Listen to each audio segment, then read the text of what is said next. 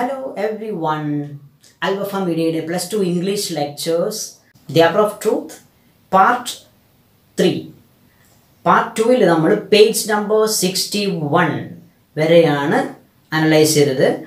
മാർത്തയും ജോണും എവിയും കൂടെ അച്ഛനെ എന്ത് ചെയ്യണം? അദ്ദേഹത്തെ ബ്രൈബ് മണി വാങ്ങുന്നത് ശരിയാണ് അത് വലിയ പ്രശ്നമല്ല. മാനേജറെ ജയിലിൽ അയക്കുന്നതാണ് പ്രശ്നമെന്ന് ബോധ്യപ്പെടുത്താനുള്ള ശ്രമമായിരുന്നു നടന്നുകൊണ്ടിരുന്നത്. ഇനി എന്താണ് സംഭവിക്കുക നമുക്ക് നോക്കാം. അതിനുശേഷം നമുക്ക് ചില ഗ്രാമർ പ്രാക്ടീസുകളും ഇതിന്റെ പ്രാക്ടീസിലുള്ള ഗ്രാമർ പാർട്ടുകളും ഡിസ്കസ് ചെയ്യാം. Martha page number sixty two a hundred thousand would mean a great deal to us Robert നമുക്ക് ഹൺഡ്രഡ് തൗസൻഡ് എന്ന് പറയുന്നത് വലിയൊരു സംഖ്യയാണ് കേട്ടോ. If you don't find a position soon നിങ്ങൾക്ക് വളരെ പെട്ടെന്ന് തന്നെ ഒരു ജോലി കിട്ടുന്നില്ല എങ്കിൽ John will have to support us. John വേണം നമ്മളെ സപ്പോർട്ട് ചെയ്യാൻ. അപ്പോൾ പിന്നെ സാമ്പത്തികം സാമ്പത്തികം ആയിട്ട് സപ്പോർട്ട് ചെയ്യണമെങ്കിൽ പിന്നെ ജോണിന്റെ ജോലി മാത്രമേ ഉള്ളൂ. On thirty dollars a week dad വെറും ഒരാഴ്ചയിൽ മുപ്പത് ഡോളർ കൊണ്ടാണ് ഡാഡ് അപ്പോൾ അദ്ദേഹത്തിന് അവന് മുപ്പത് ഡോളറേ കിട്ടുന്നുള്ളൂ. That won't go every far അതുകൊണ്ട് നമ്മൾ എവിടെ എത്താൻ പോകുന്നില്ല. അതുകൊണ്ട് അധികകാലം പോയില്ല. It's not fair to John അങ്ങനെ ചെയ്യുന്നത് ജോണിനോട് ചെയ്യുന്ന ഒരു നീതിയല്ല എന്ന് അമ്മ പറയാം. Oh don't bother about me oh എന്നെ കുറിച്ച് ആരും സങ്കടപ്പെടേണ്ട കാര്യമൊന്നുമില്ല എന്ന് ജോൺ ആംഗ്രിലി കുറച്ച് ദേഷ്യത്തോടെ പറയുന്നു. പിന്നെ അച്ഛനോട് പറയാണ് Evie begins to beat Evie കരയാൻ തുടങ്ങുന്നു. പിന്നെ ജോൺ അച്ഛനോട് പറയുന്നു ലുക്ക് ഹിയർ നോക്കൂ ഗവർണർ അച്ഛാ. You have said nothing to the papers നിങ്ങൾ മീഡിയയോട് പത്രങ്ങളോട് ഒന്നും പറഞ്ഞിട്ടില്ല. If you say nothing more tomorrow നിങ്ങൾ നാളെയും കൂടുതലൊന്നും പറയാതിരിക്കുകയാണെങ്കിൽ what is it amount to എന്താ എന്താ വലിയ വിഷയമാവാൻ പോണത്? Amount to but sticking to your friend നിങ്ങളുടെ ഫ്രണ്ടിനെ ബുദ്ധിമുട്ടിക്കുക എന്നതല്ലാതെ. അപ്പോൾ നിങ്ങൾ നാളെയും എന്ന് പറയുന്നില്ലെങ്കിൽ വലിയ പ്രശ്നമൊന്നും സംഭവിക്കാൻ പോണില്ലല്ലോ. നിങ്ങളുടെ ഫ്രണ്ടിനെ ബുദ്ധിമുട്ടിക്കുക എന്നുള്ളതല്ലാതെ. It's the square thing to do അതാണ് ശരിക്കും ചെയ്യേണ്ട കാര്യം. He would do as much for you അദ്ദേഹം ഒരു നിങ്ങൾക്ക് വേണ്ടി അത്രയും ചെയ്യും അതിന് അത്രയും നിങ്ങൾക്ക് വേണ്ടി അദ്ദേഹം ചെയ്യുമായിരിക്കും. അപ്പം നിങ്ങൾ നാളെ കാര്യമായിട്ടൊന്നും പറയാൻ പോകുന്നില്ല. അങ്ങനെ മാനേജറെ രക്ഷപ്പെടുത്തലാണ് ശരിയായ വഴി എന്നാണ് ജോൺ വളരെ ഓപ്പണായിട്ട് പറയുന്നത്. Baldwin looks appealingly from one face to another.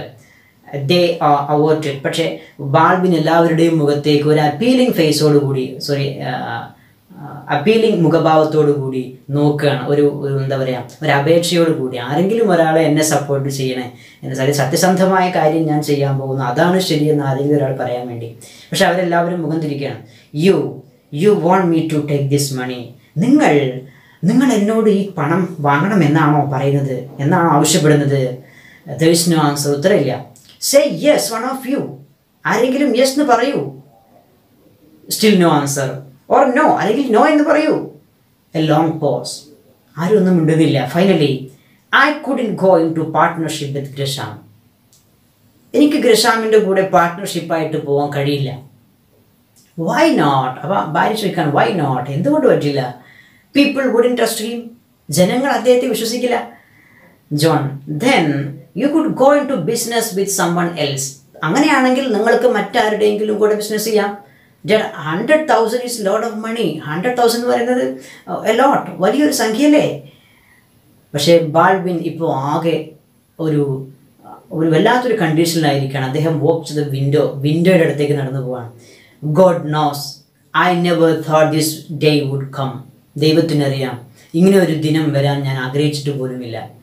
വരാതിരുന്നെങ്കിൽ എന്ന് കരുതുമായിരുന്നു I know I know no matter how you try to excuse it എനിക്കറിയാം നിങ്ങൾ എങ്ങനെയാണ് അതിനെ വളരെ സില്ലി ആയിട്ട് എക്സ്ക്യൂസ് ചെയ്യാൻ ശ്രമിക്കുന്നതെന്ന്. I know that if I take this money ഞാൻ ഈ ക്യാഷ് എടുക്കുകയാണെങ്കിൽ എനിക്കറിയാം I do a dishonourable thing ഞാൻ വളരെ നീചമായ ഒരു കാര്യമാണ് ചെയ്യുന്നതെന്ന്. ആൻഡ് യു നോ ഇറ്റ് നിങ്ങൾക്കും അതറിയാം.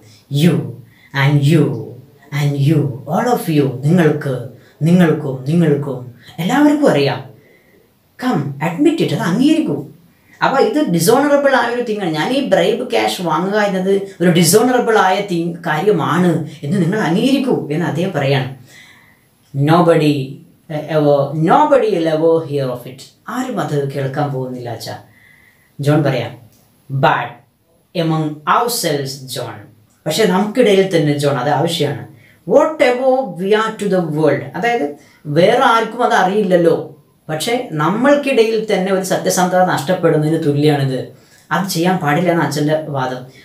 Whatever we are to the world let's be honest with each other നമ്മൾ എങ്ങനെയാണോ ലോകത്തിന്റെ മുന്നിൽ അവതരിപ്പിക്കേണ്ടത്. അല്ലെങ്കിൽ ലോകത്തോട് നമ്മൾ മറ്റുള്ളവരോട് നമ്മൾ എങ്ങനെയായിരിക്കണം അതേപോലെ ഓണസ്റ്റ് ആയിരിക്കണം നമ്മൾ പരസ്പരവും. അപ്പോൾ നമ്മൾ വീട്ടിലുള്ളവർ മാത്രമേ അറിഞ്ഞിരിക്കുന്നു സോറി അറിഞ്ഞിട്ടുള്ളൂ എന്നതുകൊണ്ട് നമ്മൾക്ക് ഒരു കള്ളത്തരം ചെയ്യാൻ കഴിയില്ല. അത് ചെയ്യാൻ പാടില്ല. നമ്മൾ പരസ്പരം ഓണസ്റ്റ് ആയിരിക്കണം.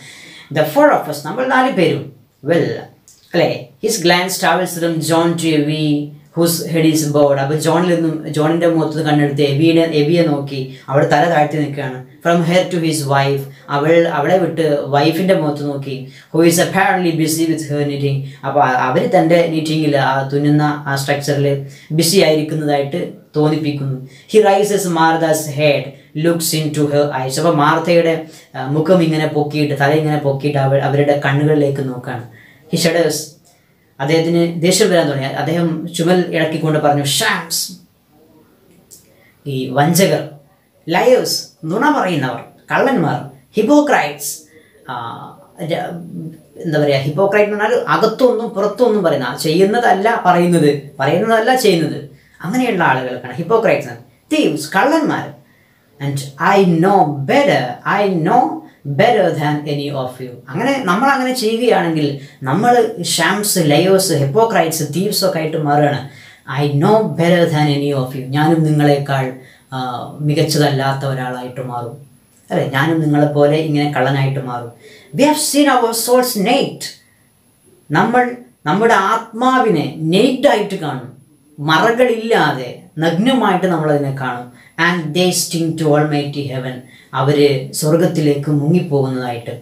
Well why don't you answer me അപ്പോൾ നിങ്ങൾ എന്തുകൊണ്ടാണ് ഉത്തരം പറയുക? അപ്പോൾ ഇത് ഇദ്ദേഹം എന്റെ ആത്മീയമായ ഒരു ആശയം കൂടെ ഇതിലേക്ക് എടുത്തിടുകയാണ്. അല്ലേ? നമ്മുടെ ആത്മാ നമ്മുടെ തനി സ്വഭാവം പുറത്തു വരിക എന്ന് പറഞ്ഞാൽ അതല്ലേ നമ്മുടെ ആത്മാവ്. നമ്മൾ മറ്റാരും കാണാതിരിക്കുമ്പോൾ തെറ്റ് ചെയ്യുന്നത് ശരിയാണോ? അല്ലേ? അങ്ങനെ ശക്തമായൊരു ഒരു ചോദ്യമാണ് അച്ഛൻ ചോദിക്കുന്നത്. അപ്പോൾ മാർത്ത പറയുന്നത് ഇറ്റ്സ് നോട്ട് റോങ് റോബേർട്ട് പക്ഷെ അതൊരു തെറ്റല്ലല്ലോ റോബേർട്ട് ഈ ഈ തെറ്റ് ചെയ്താലല്ലേ പ്രശ്നമുള്ളൂ. ഇതൊരു തെറ്റല്ല. അപ്പോൾ അച്ഛൻ അതിന് മറുപടി പറയാണ് ഇറ്റ്സ് നോട്ട് റൈറ്റ് അത് റൈറ്റും അല്ല. ഓക്കെ ജോൺ ഫേസിങ് ഹിം സ്റ്റഡിയിൽ അപ്പോൾ ജോൺ കുറച്ചും കൂടി സ്ട്രോങ് ആയി. A hundred thousand is a lot of money dad അച്ഛൻ ഹൺഡ്രഡ് തൗസൻഡ് പറയുന്നത് വലിയൊരു സംഖ്യയാണ്. വെറുതെ വെറുതെ സംസാരം വെച്ച് സമയം കളയാൻ നിൽക്കേണ്ട. അത് വലിയൊരു സംഖ്യ തന്നെയാണ്. Baldwin you can look into my eyes now my son കടിയു നിനക്ക് അത് പറയുമ്പോൾ എന്റെ കണ്ണുകളിലേക്ക് നോക്കാൻ കഴിയുമോ മോനെ? ജോൺ വിതൗട്ട് മൂവിങ് ജോൺ എങ്ങോട്ടും മാറി നിൽക്കാതെ അവൻ വീണ്ടും പറയാം dad why do you refuse നിങ്ങൾ എന്തിനാണ് ഇത് വാങ്ങാൻ റെഫ്യൂസ് എന്താ പറയുക വാങ്ങാതിരിക്കുന്നത്? നിരസിക്കുന്നത് എന്തിനാണ്? Wasn't it because you were afraid of what we would say നമ്മൾ എന്ത് പറയും എന്ന് പേ നം എന്ത് പറയും അത് വാങ്ങിയാൽ എന്ന് പേടിച്ചിട്ടാണോ? യെസ് ജോൺ ബാൾബിൻ കുറച്ച് കഴിയുമ്പോൾ പറഞ്ഞു യെസ് ജോൺ ജോൺ പറയുമ്പോൾ nobody will ever know it പക്ഷെ ആർക്കും അത് അറിയില്ലല്ലോ. ആർക്കും അത് അറിയില്ലല്ലോ എന്ന് പറഞ്ഞപ്പോൾ അച്ഛൻ പറയുന്ന മറുപടി except the four of us നമ്മൾ നാല് പേർക്കും അല്ലാതെ ആർക്കും അത് അറിയില്ലല്ലോ. അങ്ങനെ പറഞ്ഞാൽ മതി. അതായത് നമ്മൾ നാല് പേർക്കും അറിയാമല്ലോ. നമ്മൾ പോലും പരസ്പരം അറിഞ്ഞുകൊണ്ട് തെറ്റ് ചെയ്യാൻ പാടില്ല എന്നാണ് അച്ഛന്റെ വാദം. ജോൺ യെസ് ഫാദർ അതെ. John looks out and says John പുറത്തേക്ക് നോക്കിയിട്ട് പറയുകയാണ് സമ്മൺ ഈസ് കമ്മിങ് ആരോ വരുന്നുണ്ട്. Martha rising her head who is it ആരാത്? ജോൺ ഐ കാൺ സി കാണുന്നില്ല. വിത്ത് സഡൻ ആപ്രിയൻഷൻ പക്ഷെ പെട്ടെന്ന് എന്തോ ഒരു തോന്നൽ വന്ന പോലെ. ഇറ്റ് ലുക്സ് ലൈക്ക് മാർഷൽ അത് മാർഷലിനെ പോലുണ്ടല്ലോ. മാർഷൽ മാർഷലിലാണെന്ന് തോന്നുന്നു. ബാൾബിൻ ചോദിക്കുക Marshall Marshall the door bell rings they are motionless അവരാരും ചലിക്കുന്നില്ല. As a maid enters at one side and goes out the other അപ്പോൾ ഒരു സൈഡിൽ നിന്നും ഒരു പരിചാരക വരുന്നു. അവർ മറ്റേ സൈഡിലൂടെ പുറത്തേക്ക് പോകുന്നു. ദ മെയ്ഡ് റീ എൻഡേഴ്സ് അവരവിടെ തിരിച്ചു വരുന്നു. എന്നിട്ട് പറയുന്നത് gentleman to see you sir ഒരു മാന്യൻ വന്നിരിക്കുന്നു നിങ്ങളെ കാണുന്നത് ജെന്റിൽ അത് ഇംഗ്ലീഷ് പ്രയോഗമാണ്. ജെന്റിൽമാൻ എന്ന് തന്നെ എല്ലാവർക്കും പറയാം. Gentleman to see you sir നിങ്ങളെ കാണാൻ ഒരാൾ വന്നിരിക്കുന്നു സർ ബാൾവിൻ ഹൂ മീ എന്നെയോ? ദ മെയ്ഡ് യെസ് സർ നിങ്ങൾ തന്നെ.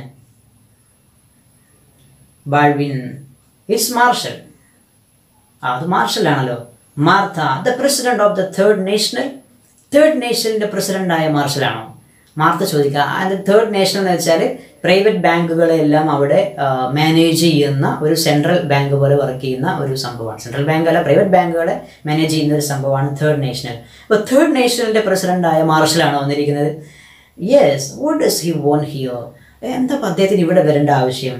The maid shall I show him in sir അദ്ദേഹത്തെ അകത്തേക്ക് വിളിക്കാമോ sir yes yes by all means തീർച്ചയായിട്ടും. ബൈ ആൾ മീൻസ് പറഞ്ഞാൽ എല്ലാം നിലക്കുന്ന അർത്ഥം. ഇവിടെ തീർച്ചയായിട്ടും വിളിച്ചോളൂ എന്ന് പറയാം. അങ്ങനെ മേഡ് ഗോസ് ഔട്ട് പുറത്തു പോകുന്നു.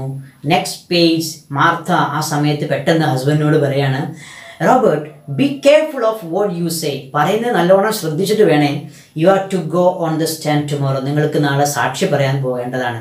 വളരെ ശ്രദ്ധിച്ച് പറഞ്ഞാൽ മതി. എന്ന് പറഞ്ഞാൽ ഈ കാര്യങ്ങളൊന്നും ഓപ്പണായിട്ട് തുറന്ന് പറയണ്ട എന്നാണ് ഭാര്യ ഉദ്ദേശിച്ചത്. കാരണം ഭാര്യയുടെ താല്പര്യം എന്താണ്? മാനേജർ രക്ഷപ്പെടുത്തണം എന്നാണല്ലോ.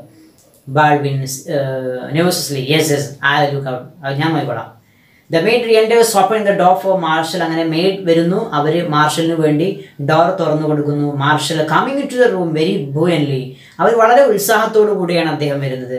Well well spending the after indoors ഈ സന്ധ്യാസമയം വീടിനകത്തിരുന്ന് കളയാണോ കഴിക്കുകയാണോ? How you Mrs Baldwin Mrs Baldwin എന്തൊക്കെയാണ് വിശേഷങ്ങൾ? He shakes and cordial and you Baldwin Baldwin എന്താ വിശേഷം? മിസ്സിസ് ബാൾവിൻ എന്ന് വിളിച്ചത് ആരെയാണ്?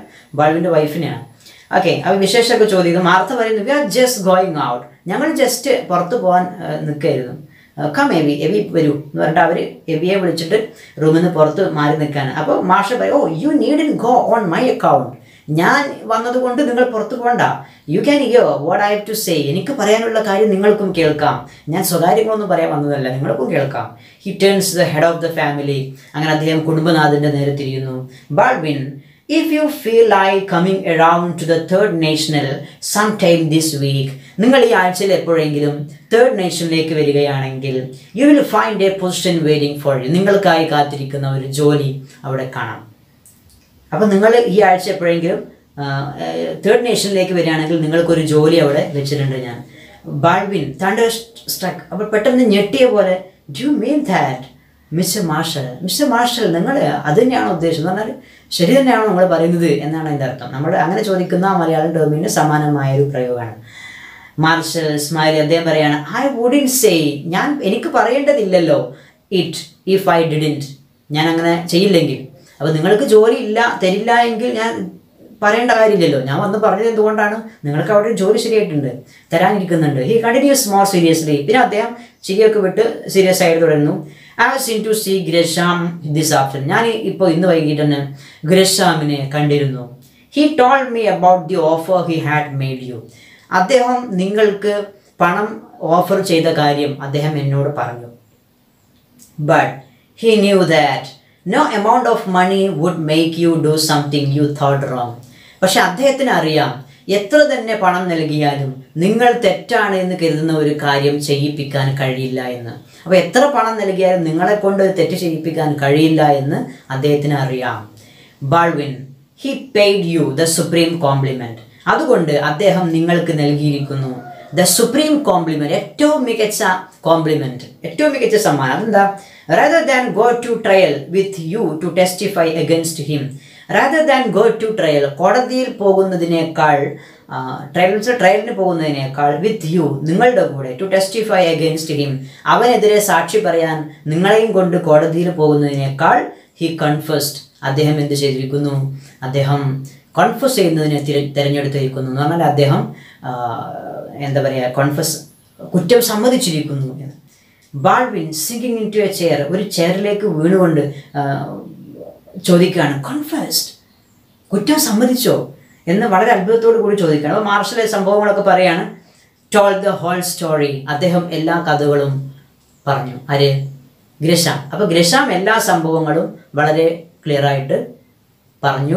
ഇങ്ങനെയൊക്കെയാണ് സംഭവിച്ചത് എന്ന് കാര്യങ്ങൾ ക്ലിയർ ആയിട്ട് പറഞ്ഞു. അത് നിങ്ങൾ അദ്ദേഹത്തിന് അനുകൂലമായി സാക്ഷി പറയില്ല കള്ളം പറയില്ല എന്ന് അദ്ദേഹത്തിന് ഉറപ്പുള്ളത് കൊണ്ട് നിങ്ങളെ കോടതിയിൽ കൊണ്ടുപോയി കൊണ്ടുപോകുന്നതിനേക്കാൾ നല്ലത് എന്താണ് ഇപ്പോൾ തന്നെ കുറ്റം സമ്മതിക്കലാണ് അതും കോടതിയിൽ പോയി ചമ്മുന്നതും സെയിമാണ് എന്ന് അദ്ദേഹത്തിന് ബോധ്യം. അതായത് നിങ്ങൾ സത്യം മാത്രമേ പറയുള്ളൂ എന്നതിന് അദ്ദേഹം നൽകിയ വലിയൊരു കോംപ്ലിമെന്റ് ആണ്. നിങ്ങൾ സാക്ഷിയാണോ? ആ സത്യം മാത്രമേ പറയുള്ളൂ സംഗതി ഞാൻ തോൽക്കും. അവ ഒരു കോംപ്ലിമെന്റ് ആണോ ഇദ്ദേഹത്തിന് അതാണ് പറയുന്നത്. അപ്പോൾ ഈ പിന്നെ അദ്ദേഹം പറയാണ് I can only say to you വൈഫിനോട് പറയാം മാർഷൽ നിങ്ങളോട് എനിക്ക് ഒന്ന് മാത്രമേ പറയാൻ കഴിയുള്ളൂ. What every man will be saying tomorrow നാളെ എല്ലാ ആളുകളും ഭാവിയിൽ എല്ലാ ആളുകളും പറയുന്ന ഒരു കാര്യമാണ് പറയാൻ പോകുന്ന ഒരു കാര്യമാണ് എനിക്ക് നിങ്ങളോട് പറയാനുള്ളത്. എന്താ? How highly I honour and respect your husband എത്ര ബഹുമാന്യനായ ഒരാളാണ് നിങ്ങളുടെ നിങ്ങളുടെ ഹസ്ബൻഡ് ഹൗ സിൻസിയർ എത്ര ആത്മാർത്ഥതയുള്ള ഒരാളാണ്. Martha seizing his hand piteously അദ്ദേഹത്തിന്റെ കരങ്ങൾ കവർന്നുകൊണ്ട് മാർത്ത പറയുന്നു. Please please can't you see he is crying മതി മതി പ്ലീസ് എന്ന് ഇവിടെ നിർത്തൂ. എന്നർത്ഥം you see he is crying അദ്ദേഹം കരയുന്നത് നിങ്ങൾക്ക് കാണുന്നില്ലേ? കട്ടൻ. അവിടെ നാടകം അവസാനിക്കുകയാണ്. എന്താണ് ഇതിന്റെ എന്റെ എന്ന് ഞാൻ പറയാതെ തന്നെ നിങ്ങൾക്ക് അതിന്റെ ഒരു തന്തു ഒരു പ്ലോട്ടിന്റെ ഒരു പ്ലോട്ട് അവസാനിക്കുമ്പോൾ ഉള്ളിൽ ഒരു തങ്ങൽ ഉണ്ടാകും. അതാണ് സത്യത്തിൽ ഇതിന്റെ സ്റ്റോറി സത്യസന്ധമാ സത്യസന്ധനായ ഒരു വ്യക്തി തന്റെ സത്യസന്ധതയ്ക്ക് വേണ്ടി പിടിച്ചു നിൽക്കാൻ വേണ്ടി സത്യത്തിന്റെ കൂടെ നിൽക്കാൻ വേണ്ടി ശ്രമിക്കുന്ന ശ്രമങ്ങൾ. ഹൺഡ്രഡ് തൗസൻഡ് ഡോളേഴ്സ് നൽകാമെന്ന് പറഞ്ഞിട്ടും തന്റെ സത്യസന്ധത കൈവിടാതിരിക്കാൻ ശ്രമിക്കുന്നു. അദ്ദേഹം തന്റെ വൈഫിന്റെയും മക്കളുടെയും പ്രലോഭനത്തിൽ വീഴുന്നില്ല. അവസാനം അദ്ദേഹത്തിന്റെ സത്യസന്ധതയ്ക്ക് വലിയൊരു കോംപ്ലിമെന്റ് ഗിഫ്റ്റായിട്ട് അദ്ദേഹത്തിന് ലഭിക്കുന്നു. ഇനി ഈ ചാപ്റ്ററിന്റെ പ്രാക്ടീസിൽ നമ്മുടെ എല്ലാ ചാപ്റ്റേഴ്സിന്റെയും ശേഷം ഉണ്ടാകുന്ന കോംപ്രിഹെൻസീവ് ക്വസ്റ്റ്യൻസ് അതുപോലുള്ള ചെറിയ ചെറിയ പ്രാക്ടീസുകൾ കുറേ ഭാഗങ്ങൾ അതെല്ലാം കൂടെ നമുക്ക് വീഡിയോ ലെസ്സിലൂടെ ലെക്ചറിലൂടെ പറഞ്ഞു തന്നുകൊണ്ട് പ്രയോജനമില്ല. അതേസമയം നിങ്ങൾക്ക് page number sixty eight activity seven language practice കാണാം. ഗ്രാമഭാഗം നമ്മൾ ഓരോ പാഠങ്ങൾ പഠിച്ചു കഴിയുമ്പോഴും പഴയ കാര്യങ്ങൾ പഠിച്ചത് ഓർക്കുകയോ അല്ലെങ്കിൽ പുതിയ കാര്യങ്ങൾ പഠിക്കുകയോ ചെയ്യേണ്ട ഗ്രാമർ ഭാഗങ്ങൾ പറയുന്ന പാർട്ടാണ് തീർച്ചയായിട്ടും നിങ്ങൾ പ്രാക്ടീസ് ചെയ്തിരിക്കണം. ചിലപ്പോൾ ചെറിയ രീതിയിൽ മടുപ്പുണ്ടാകുന്ന വിഷയങ്ങളായിരിക്കും ഗ്രാമർ പഠനം. പക്ഷേ നിങ്ങൾക്ക് ഇഷ്ടപ്പെടുന്ന രീതി ഏതെങ്കിലും അഡോപ്റ്റ് ചെയ്ത് നിങ്ങൾ പഠിച്ചിരിക്കണം.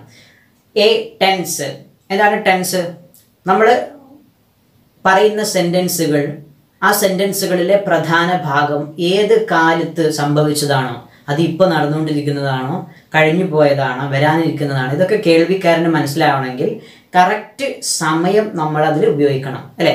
അതായത് നമ്മൾ പറയുന്ന സെന്റൻസിനെ സമയവുമായി കണക്ട് ചെയ്യുന്നതിനെയാണ് ടെൻസ് എന്ന് വിളിക്കുന്നത്. അപ്പോൾ ഇത് അനുയോജ്യമായ ടെൻസുകൾ നമുക്കറിയാം. ഏതൊക്കെയാണ്? Present past future. Present past future. അല്ലേ? ഇവിടെ നിങ്ങൾ മുമ്പ് പഠിച്ച കാര്യം തന്നെ ഒന്ന് ഓർത്തെടുക്കാൻ വേണ്ടി ഇവിടെ ഒരു ഒരു പാരഗ്രാഫ് അമിഗോ ബ്രദേഴ്സിൽ ഒരു പാരഗ്രാഫ് നൽകിയിട്ട് അതിലെ പാസ്റ്റായി ഉപയോഗിച്ചിട്ടുള്ള ഭാഗങ്ങൾ ഭൂതകാലത്തിൽ കഴിഞ്ഞതുകൊണ്ടാണ്.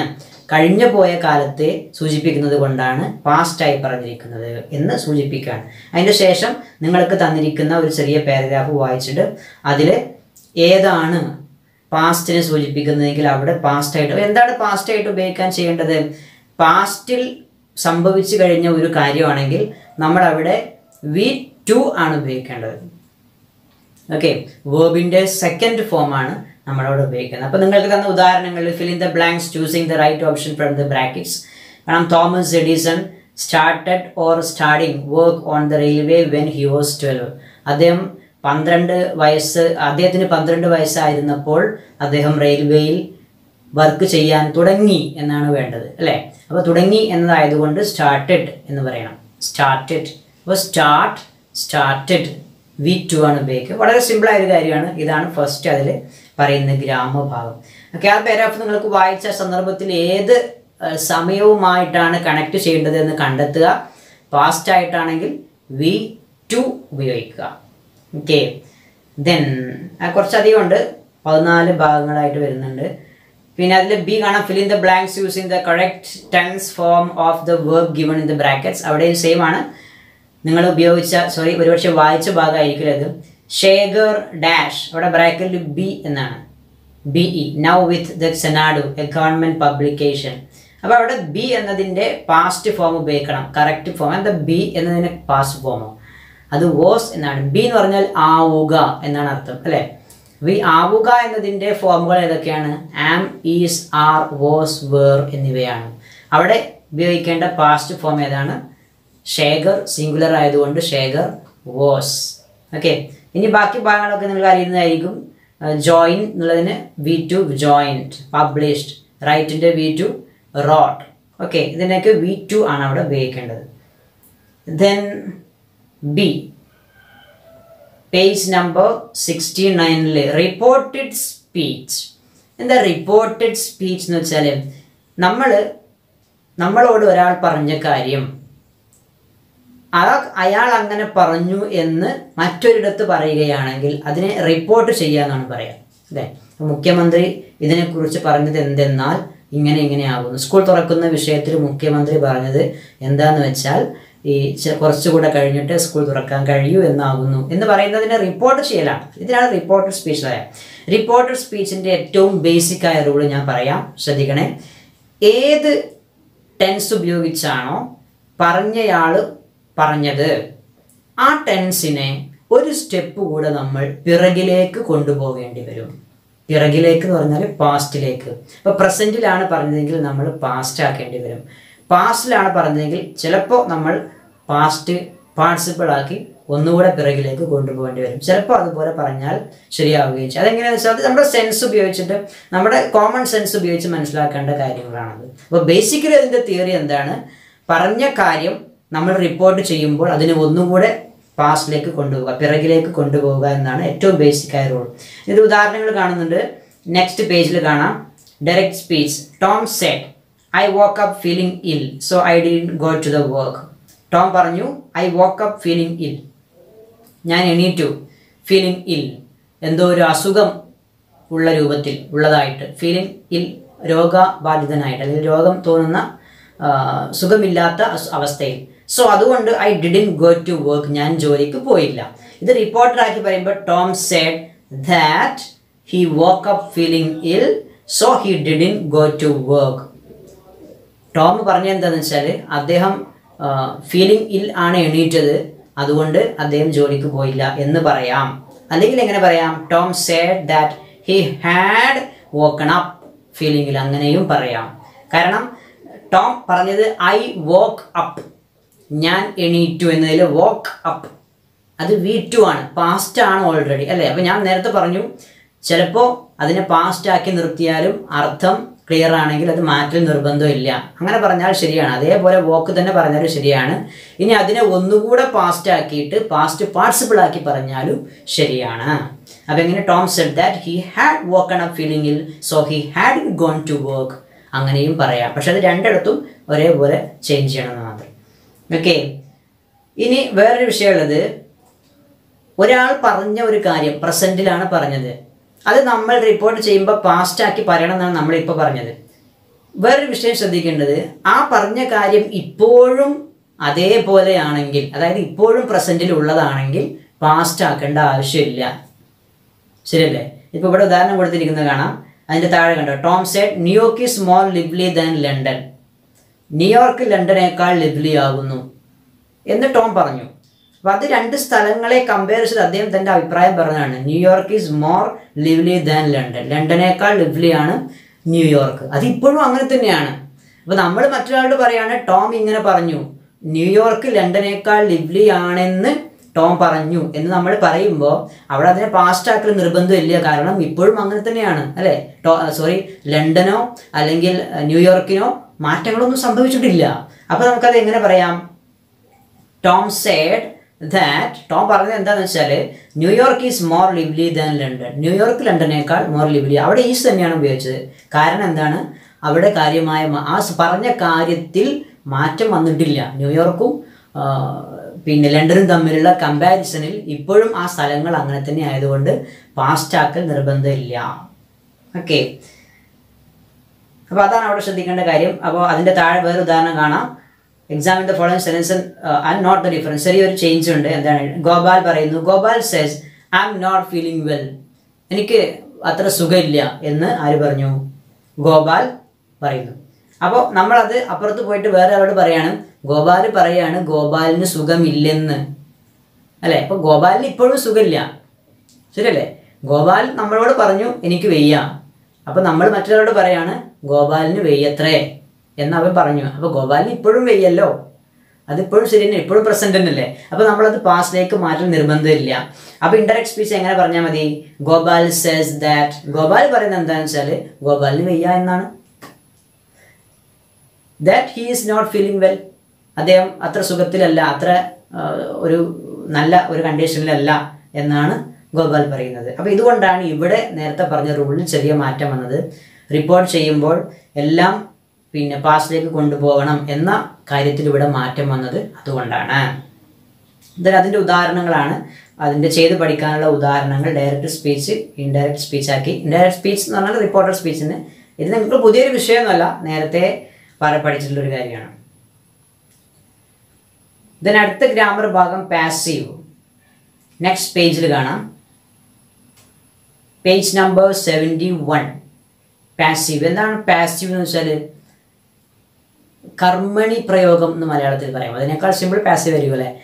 കർത്താവിന് സബ്ജക്റ്റിന് ഇമ്പോർട്ടൻസ് കൊടുക്കുന്നതാണെങ്കിൽ പിന്നെ ആക്റ്റീവ് വോയിസ് എന്നും ഒബ്ജക്റ്റിനാണ് ഇമ്പോർട്ടൻസ് എങ്കിൽ പാസീവ് വോയിസ് എന്നുമാണ് വിളിക്കുക. ഒബ്ജക്റ്റിനെ സബ്ജക്റ്റിന്റെ സ്ഥാനത്തേക്ക് കൊണ്ടുവന്ന് പറയുകയാണെങ്കിൽ ഇപ്പോൾ the window was broken the window was broken window തകർക്കപ്പെട്ടു. ആരോ കല്ലെറിഞ്ഞ് വിൻഡോ തകർത്തു.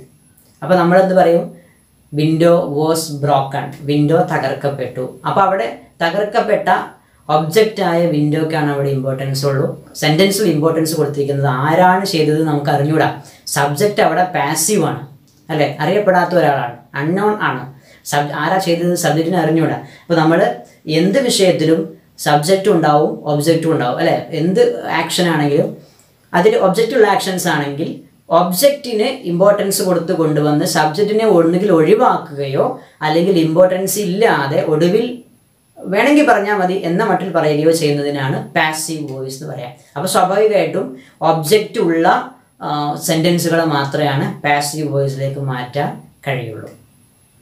ഓക്കെ ഇത് പല ആശയ പല കാര്യങ്ങൾക്ക് വേണ്ടി ഇത് ഉപയോഗിക്കും. അതാണ് page number page number seventy വണ്ണിൽ A B C D E എന്ന് പറഞ്ഞ് പ്രധാനപ്പെട്ട നാല് സോറി അഞ്ച് ആ, സ്ഥലങ്ങളിൽ പാസീവ് വോയിസ് ഉപയോഗിക്കുന്നതിന്റെ ഉദാഹരണങ്ങൾ പറയുന്നു. To express physical or mental condition to warn people photography is prohibited here ഇവിടെ ഫോട്ടോഗ്രാഫി നിരോധിക്കപ്പെട്ടിരിക്കുന്നു. ഫോട്ടോ എടുക്കാൻ പാടില്ല എന്നാണ് അർത്ഥം അല്ലെ? ആരായാലും സബ്ജക്റ്റ് ആരോ ആയിക്കോട്ടെ ഇവിടെ ഫോട്ടോഗ്രാഫി നിരോധിക്കപ്പെട്ടിരിക്കുന്നു. ദെൻ അതിന്റെ പ്രാക്ടീസ് ഒരു പേര് പത്ത് ഉദാഹരണങ്ങളുള്ള ഒരു പ്രാക്ടീസ് അതിന്റെ താഴെയുണ്ട്. ഓക്കെ ഇതെല്ലാം കഴിഞ്ഞാൽ നിങ്ങൾക്ക് ടെൻസ് ഒരു സെന്റൻസിന്റെ കറക്റ്റ് ബന്ധിപ്പിക്കേണ്ട അതേ സമയം ഉപയോഗിച്ചുകൊണ്ട് കൃത്യമായി എഡിറ്റ് ചെയ്യാൻ കഴിയും. പിന്നെ ഡയറക്റ്റ് ഓർ ഇൻഡയറക്റ്റ് സ്പീച്ച് അല്ലെങ്കിൽ റിപ്പോർട്ടഡ് സ്പീച്ച് തെറ്റില്ലാതെ ഉപയോഗിക്കാൻ കഴിയും. അതേപോലെ പിന്നെ പാസീവ് വോയിസ് ആക്റ്റീവ് വോയിസിനെ പാസീവ് വോയിസിലേക്ക് മാറ്റുന്നത് കറക്റ്റായിട്ട് ചെയ്യാം ഇതാണ് ഇത്രയും സോറി ഈ പാഠഭാഗത്തിൽ പ്രധാനപ്പെട്ട ഗ്രാമർ പാട്ടുകൾ. ഇത് വളരെ ഇമ്പോർട്ടന്റ് ആയ ബേസിക് ആയ ആശയങ്ങളാണ്. അതുകൊണ്ട് നന്നായിട്ട് പ്രാക്ടീസ് ചെയ്യുക. ഏതെങ്കിലും ഡൗട്ട്സ് ഉണ്ടെങ്കിൽ അൽവഫ മീഡിയയുമായിട്ട് നിങ്ങൾ കോൺടാക്ട് ചെയ്യാം. ഹെൽപ്പ് ചെയ്യാൻ ശ്രമിക്കും. ഓക്കെ വീണ്ടും കാണാം. Good bye